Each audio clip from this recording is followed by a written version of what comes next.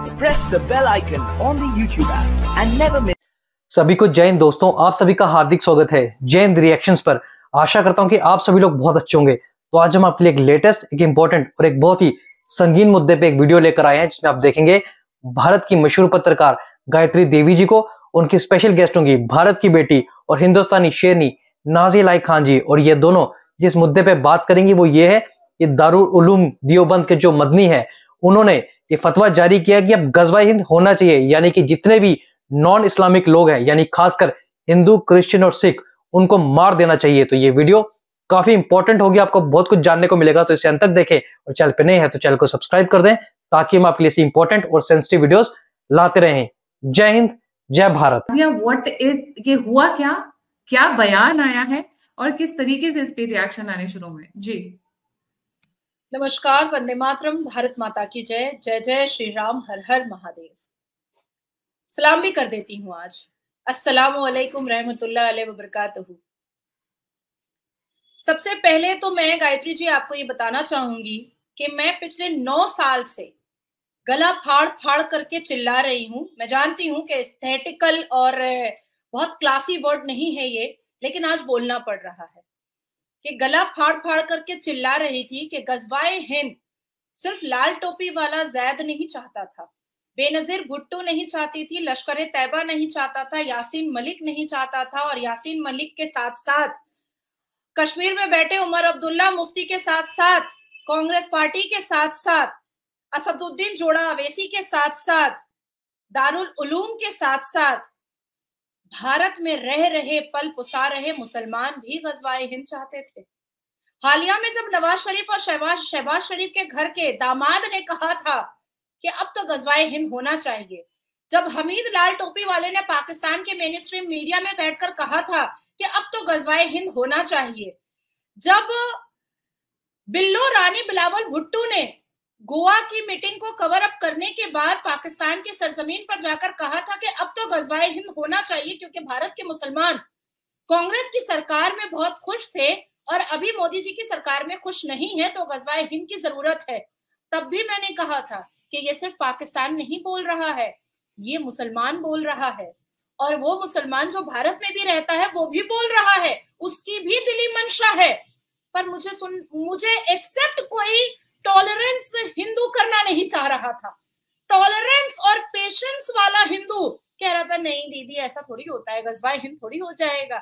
यहाँ के मुसलमान यहाँ का नमक खाते हैं गजवाए हिंद थोड़ी करेंगे। गजवाए हिंद पाकिस्तान कर, करना चाहता है। नहीं नहीं नहीं नहीं।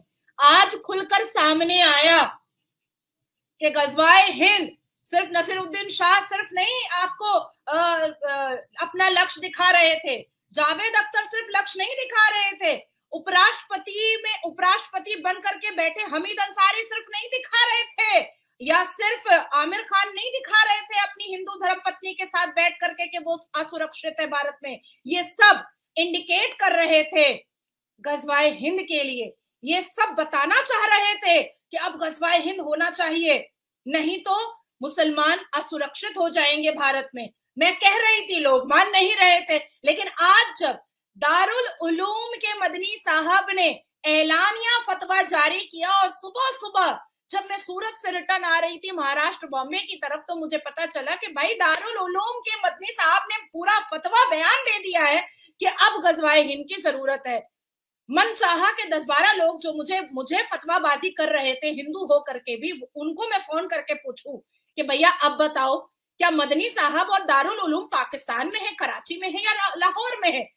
तो फिर मैंने सोचा कि नहीं मीडिया पे ही बैठ करके बात करूँगी इस बारे में।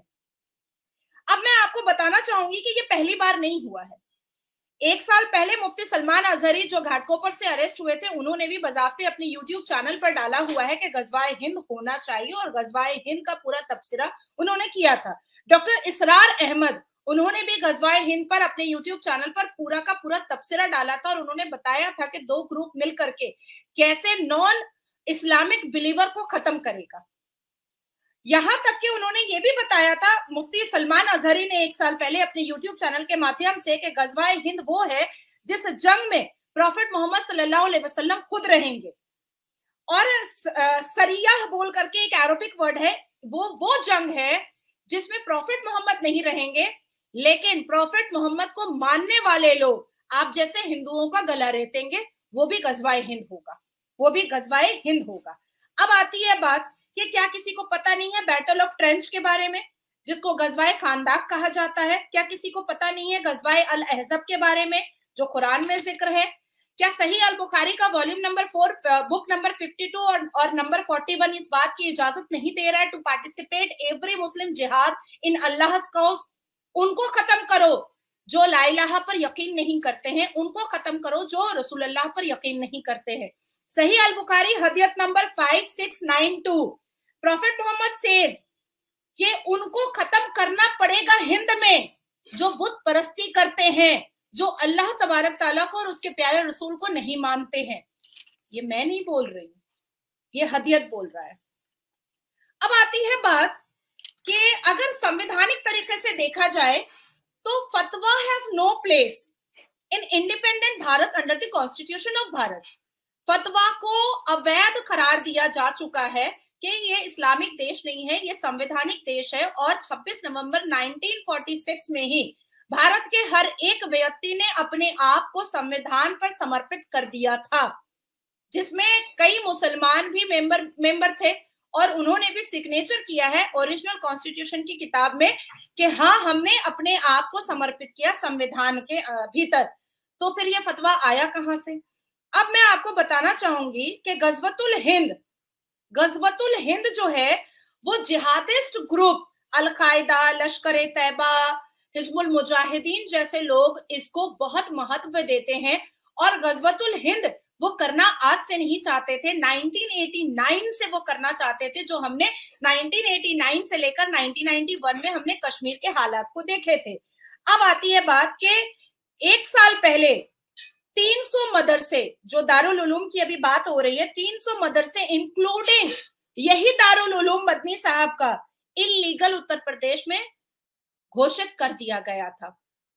जब सर्वे रिपोर्ट आया था तो पता चला था कि 300 मदरसों के साथ साथ उत्तर प्रदेश में रह रहा मदनी साहब का दारुल उलूम भी इलीगल है, अवैध है, जिसको बंद कर देना चाहिए और संवैधानिक तरीके से कई बार ऐसे फतवा दारुल उलूम की तरफ़ से आए हैं जो अवैध और जो इलीगल और और कॉन्स्टिट्यूशन के बाहर साबित हुआ है।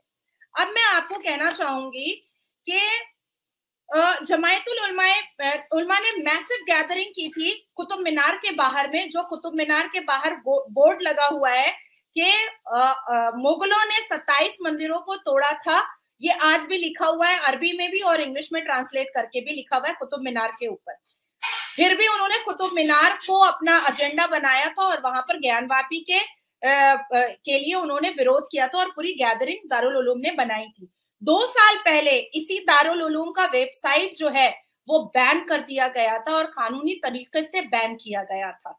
यहाँ तक के the honourable supreme court of India को भी इंटरवीन करना पड़ा था कि इनके फतवों से जिहादीस्ट जो होते हैं टेररिज्म माइंडेड जो होते हैं, जो क्रिमिनल माइंडेड होते हैं, जो डायबोलिक क्रिमिनल माइंडेड पर्सन होते हैं, उनको प्रोवोकेशन मिलता है, इसलिए इस वेबसाइट को बैन बैन करना चाहिए, जिस पर अशरफ उस्मानी ने मीडिया चैनल पर बैठकर कहा था कि फतवा कुछ नहीं है, हम तो सिर्फ़ लोगों को सजेशन देते हैं, वो सजेशन देने का वेबसाइट था और हमने इस्लामिक एतबार से सजेशन दिया था।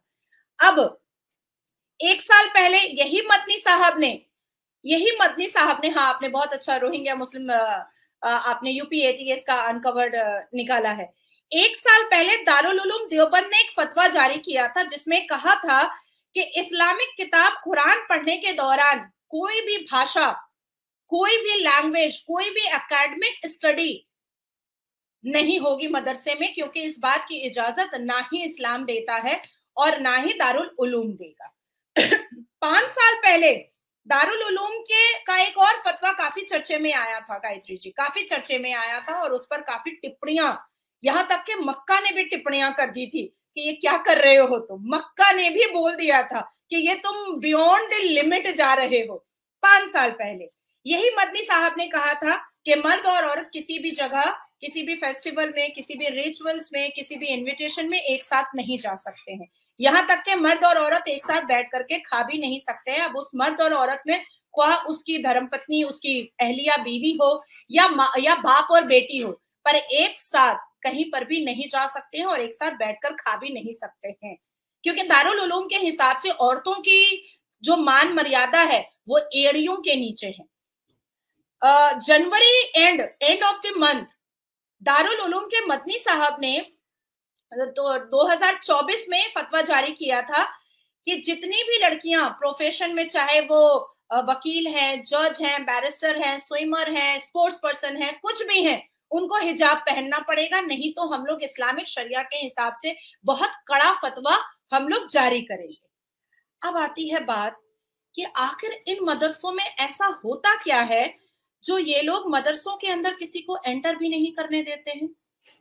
चाहे वो चाइल्ड प्रोटेक्शन के द्वारा एनसीपीसीआर हो, चाहे वो सेंट्रल गवर्नमेंट का कोई ब्यूरोक्रेट या डिप्लोमेट हो, चाहे वो एजुकेशन डिपार्टमेंट का आईएएस आईपीएस ऑफिसर हो, चाहे वो खुद माइनॉरिटी कैबिनेट मंत्री हो, चाहे वो स्टेट का माइनॉरिटी मिनिस्टर हो आखिर इन मदरसों में एंटर करने से पहले मीडिया को इस मीडिया से लेकर के आईएएस ऑफिसर से लेकर के एजुकेशन डिपार्टमेंट से लेकर के कैबिनेट मंत्रालय से लेकर के सबको इतने चप्पल क्यों घिसने पड़ते हैं?